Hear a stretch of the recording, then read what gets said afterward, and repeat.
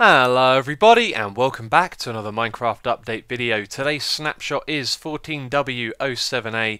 Prepare yourself for a lot of new things. There is tons of new features added in this snapshot. First of all we're going to start off with these iron trapdoors which look absolutely lovely. Now these work the way you would expect them to. You can't right click on them like iron doors but you can the wooden ones and when you power them with redstone you can open and close them which is a very nice addition. I think this is going to be better for aesthetics than practical uses, but it's still very good. So anyway, let's go into F5, and I'll show you me holding this gold ingot in my hand. Blaze rods have been changed, so now when you hold them, they look like a weapon, like that, like a sword would. So previously it would have rendered like a item in your hand.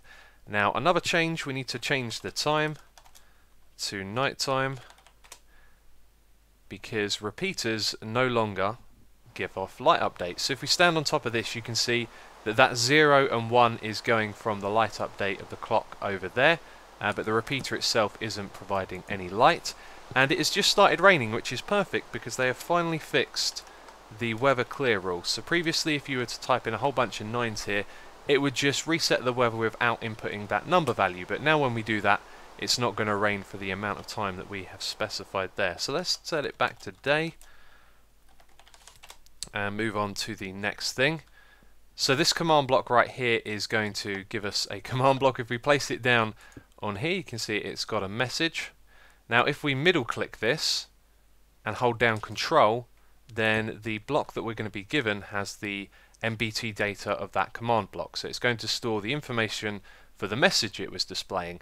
Now dispensers can now place command blocks down and they also place ones with stored NBT data so when we place this down, it's going to have that message and the redstone clock here is making it power, which is a very cool feature. Now this next one is the ability to target players based on what way they are facing. So we have RYM and the Y stands for the first number that you'll see. If you look at facing south towards positive Z, there are two numbers at the end of that. The first one is Y, which is the one we're going to be targeting, and the second one is X, which I will show you in a moment. So this command right here is specifying the minimum number first of all, which is 0, and the maximum, which will be 90. So it's going to target between 0 all the way to 90 like that. So if we face in this direction and activate the command block, you can see, Xisuma, you are facing southwest. If we face any other direction when we press it, it's not going to do anything. And then I've got another one over here where it's pointing at the negative numbers. Although it says southwest, that's because I forgot to change that um, if we face in this direction, which isn't southwest, but you can see it works just the same way, and then when we face this way, it doesn't. So the next one is going to target the x value. So when we're looking at a number that's greater than 65, it's going to give us the message you are looking down. So at the moment, if we have a look at the F3 screen, on the second number on the facing bit, it says 18.7. So when we press that button, nothing happens. If we go up close to it and look down, it's now 80, which is greater than 65, and when we press that, it gives us the message. So I forgot to point out the significance of this command block right here. It now has a new tag, which is block entity, and that allows you to store the command information in there. So you can see that gave us one that already had the command on it, which is a new feature. So this next new feature is the ability to display certain objectives on a scoreboard to a specific team. So if we go and join the red team, then we're able to see the amount of blue team that we have killed on the right hand side and we can only see that scoreboard when we're in the red team. So then if I join the blue team we'll be able to see the amount of red that we've killed and again only when you're in the blue team can you see that. Then there is another feature that has been added here as well. If I press F5 you can see that there is nothing above my head but when we join a team it actually displays our name as well. And this goes for the E screen as well for the inventory. You can see my name is appearing above my little character there. That could actually be a bug and then when I'm not on a team it isn't there. But let's have a look at the command for this. So you type in scoreboard objectives set display and then you specify the sidebar with the team and then the team name. And I think these are fixed values as well because when you press tab it shows you a list of them. But after that you set the objective which was called kill red. So if we just go back to that and press tab you can see here a whole list of uh, different team names. So there's been another change to the tellraw command. You can now display the score of an objective as the output Unfortunately, I won't be able to show you this because executing this command at the moment crashes the game, which is something they'll probably fix with a second snapshot release. But this is what it looks like. The tail command, as you can see, you can specify the text, Xisuma has killed, and then you can call up the objective and the score of that player. So the objective is kill red, the player is Xisuma, and it's going to display the score, so it will tell you how many I have. So what it would say if we were to execute it is Xisuma has killed 10 because that's my score as you can see there on the right hand side of the screen. So these next two features I am very excited for. We have a new command first of all. This is test for blocks. Now test for block already existed. Now you can test for multiple amounts of blocks. So first of all we have two sets of coordinates. They are going to be either side of a cubic region that we are going to define. So one of them will be over there and then one of them is up there in the sky a little bit so we target all of the blocks here and then the third set of coordinates we are going to specify where the first block of the region we want to compare is. So that's going to be the one that faces the northwest direction, so it's this block down here is where it's going to start. And so if we press the button here, you can see it's going to give us an output because both of the regions are the same. So if we add a block, or we were to destroy a block, like that, then you can see it tests the two regions and it doesn't give us an output because it's different. Now we can also add something on the end of this which is masked and if we do that it means that it's going to ignore changes to air blocks. So at the moment they're the same. If we remove a block it doesn't give us an output. However if we add a block into an air block then you can see it will still give us an output. So this second one is a change to the test for command. You can now target a player's inventory and a specific slot as well. So we're targeting slot 100.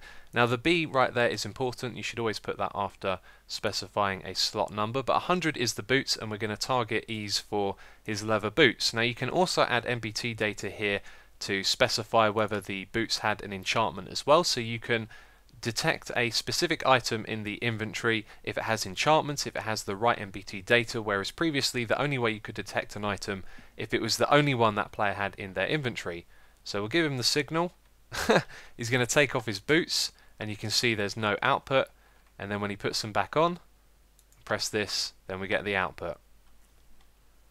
Okay, this next command is a very exciting and interesting one. It is called execute and it allows you to execute another command and target a entity. So we're going to target Ease, we're going to play catch Ease, which is going to be a very easy game because it is going to use the fill command to fill in glass around him. So uh, let's do that. there you go, we've trapped him, so it executed that command at the entity, which was specified here because we put in his name.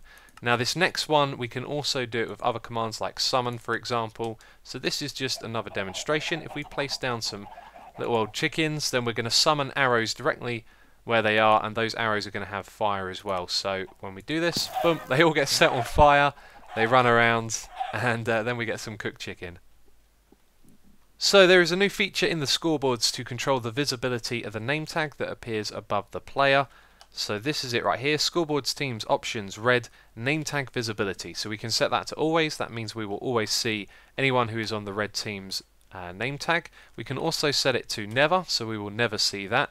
And then we can set it to hide for other teams. So if we're on a different team, we won't be able to see the name tag like this. See, I'm now on the blue team and I can't see his name tag. We can also set it to hide for own team. So that means when I'm on his team, I won't be able to see his name tag. So we all know that now when we trade with villagers we get XP for doing that. There's also a NBT tag to disable this if you don't want them giving XP. So let's just trade with this guy. There you go, we get a bunch of XP. You can disable that. Unfortunately, we don't know what the tag is yet, but there is one. Um, so you'll be able to disable that in a custom map or something like that. Now this next one, when you use a damage value of minus 1, it means that you can target the items that have the same enchantments or whatever the NBT data is of that item. So if we go and give ourselves a whole bunch of Iron Swords, you can see these ones all have fire aspect and they have different damage values. So when we clear our inventory of that item with that enchantment, that's the only one that it's going to remove. So it's removed the first sword, the second, the third, but it's not going to remove the one without the enchantment. So yet again, some more powerful and interesting changes to the command blocks. We have some new operations that we can use. These are plus, minus, multiply, divide and percent and all of those have a equals after them which means we take value A and value B and when we add them together they then become value A.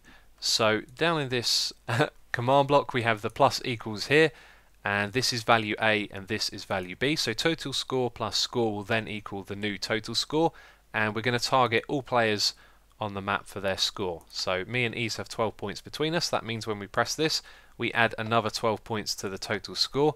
Now here is the same operation except we're using the minus. So minus equals means we can take away those 12 points each time we use this. So there are three other features here as well. We can now set the score of an offline player. We can also test for that offline player as well. And also if we put a hashtag in front of the player's name, it means it's not going to display on the scoreboard on the side. So you can see there there's only Ease and Xisuma and offline player is not going to appear on there. And we can also test for that offline player's score as well. So when we press this, you can see uh, that the comparator is on and so the lamp is on as well. So another few changes that you should know about, if you press F3 and then look at the bottom, when we look over a block it says looking at and then it gives you the coordinates of the block that you are looking at, which is very useful when you want to input that kind of information into a command block or something like that. Now another small change, we have a stone brick monster egg. This is a stone bricks with silverfish inside. When you break this in creative mode it's no longer going to spawn a silverfish, which is a nice little change. Now there is another bug that has been exploited for making obsidian generators. When lava is flowing over redstone, it could turn the redstone into obsidian. That bug has been fixed. And one last change, there is now going to be world-sided resource packs, which means when you download a world like a map to play, it can have a resource pack built into it. So that is it for this week's snapshot video. If you have enjoyed it, please do remember to leave a like. It will always be appreciated.